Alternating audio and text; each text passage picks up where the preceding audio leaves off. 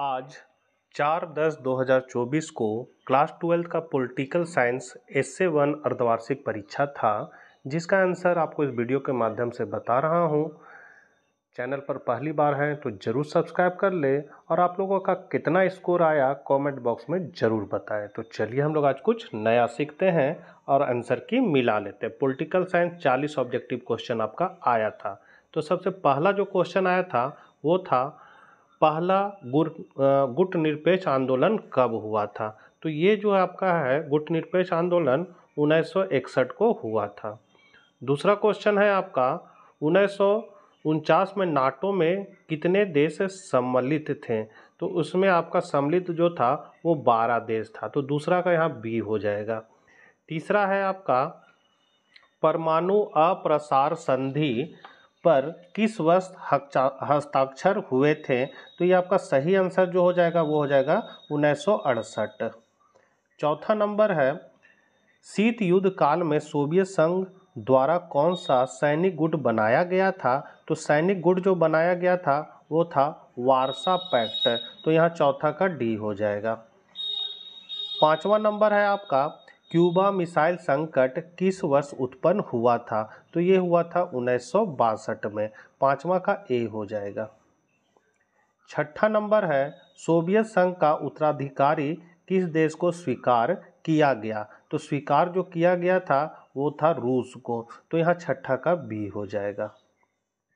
सातवां नंबर जो है, वो कह रहा है आपका क्वेश्चन, बर्लिन की दीवार कब गिराई गई? तो बर्लिन की जो दीवार है वो गिराया गया था आपका उन्नीस सौ नवासी।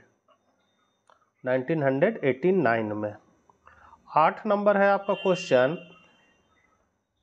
ग्लास नोस्ट और पेरास्टोइका किसने प्रस्तुत किया था? तो ये जो प्रस्तुत किया था, वो था गौरव चेव नौवा नंबर है आपका। शॉक थेरेपी को कब अपनाया गया? तो शॉक थेरेपी जो है उन्नीस सौ नब्बे में अपनाया गया था, यहाँ पर आपका ए हो जाएगा।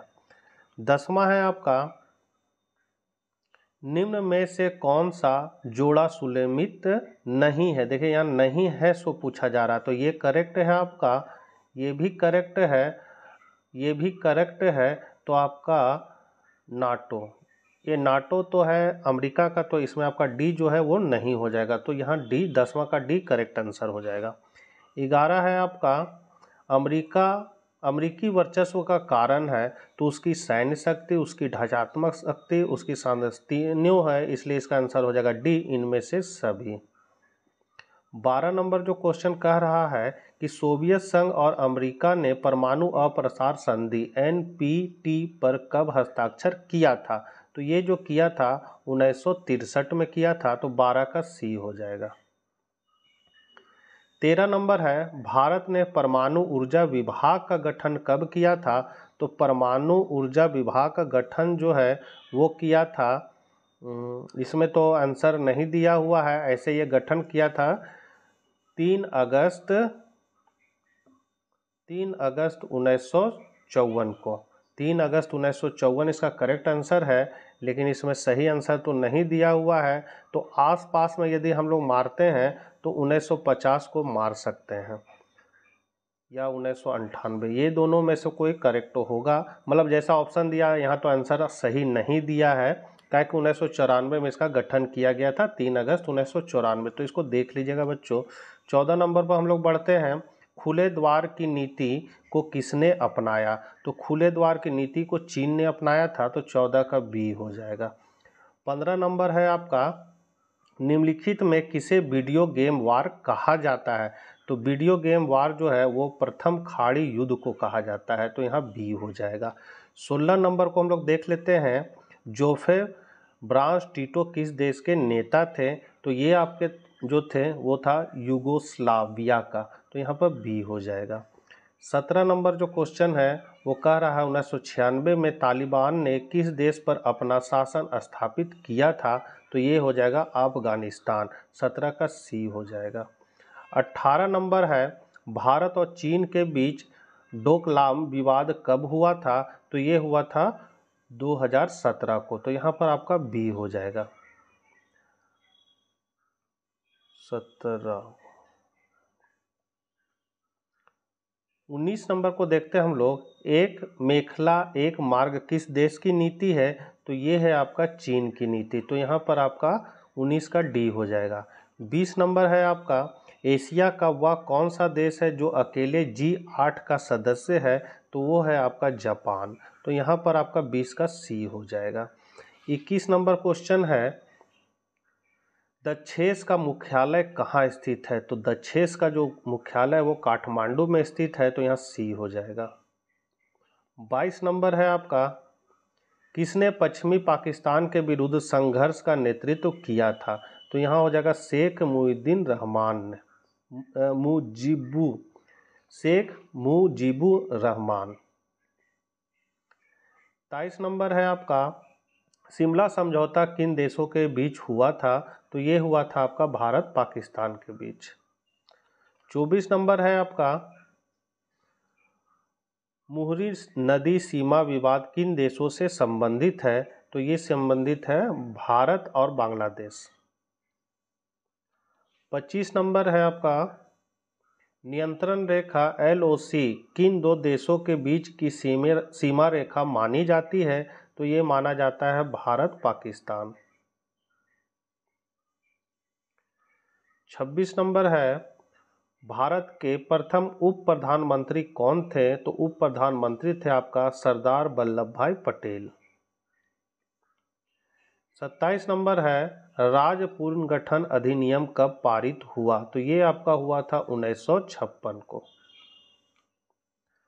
अट्ठाईस नंबर है आपका, किस राजनीतिक दल ने उन्नीस सौ संतावन में केरल में अपनी सरकार बनाई थी तो ये बनाया था भारतीय कम्युनिस्ट पार्टी ने। आज़ाद भारत के पहले शिक्षा मंत्री कौन थे? तो मौलाना अबुल कलाम आज़ाद। डी नंबर हो जाएगा मौलाना अबुल कलाम आज़ाद। तीस नंबर है आपका क्वेश्चन। एम एस स्वामीनाथन का संबंध किस क्रांति से है? तो ये आपका हरित क्रांति से है, जो उन्नीस सौ छियासठ सड़सठ के बीच भारत में हुआ था और गेहूँ के क्षेत्र में ये ज़्यादा पैदावार बढ़ गया था। विश्व में इसके जनक जो हैं, वो नॉर्लोंग बोरलोंग को माना जाता है। इकतीस नंबर है आपका। भारत ने अपने आर्थिक विकास के लिए किस मॉडल को चुना था? तो भारत जो है, वो समाजवादी मॉडल को चुना था।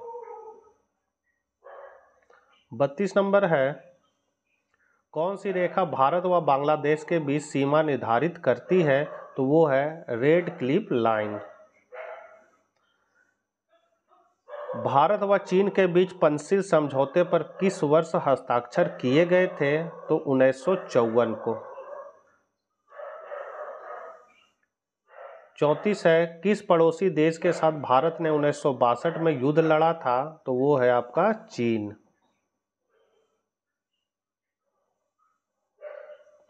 देसी रियासतों के शासकों को दिया जाने वाला प्रीवी पर्स किस वर्ष समाप्त कर दिया गया था? तो ये समाप्त कर दिया गया था 1971 को। 36 नंबर है आपका। इंदिरा गांधी द्वारा 1971 के आम चुनावों के समय कौन सा नारा दिया गया था? तो गरीबी हटाओ का नारा दिया गया था। सैंतीस नंबर है। उन्नीस सौ उनहत्तर में विभाजन के दौरान कांग्रेस के अध्यक्ष कौन थे? तो कांग्रेस के अध्यक्ष थे के काम राज अड़तीस नंबर है आपका। चौदह बैंकों का राष्ट्रीयकरण किस वर्ष हुआ था? तो ये हुआ था उन्नीस सौ उनहत्तर को। उनचालीस नंबर क्वेश्चन है, भारतीय जनता पार्टी के प्रथम अध्यक्ष कौन थे? तो अटल बिहारी वाजपेयी, उनचालीस का बी हो जाएगा। और लास्ट क्वेश्चन आपका, जय जवान, जय किसान, जय विज्ञान का नारा किसने दिया था? तो ये दिया था आपका अटल बिहारी वाजपेयी ने, चालीस का सी हो जाएगा। तो बच्चों, आप लोगों ने कितना स्कोर किया? कमेंट बॉक्स में ज़रूर बताइएगा। मिलते हैं नेक्स्ट वीडियो साथ। जय हिंद, जय भारत।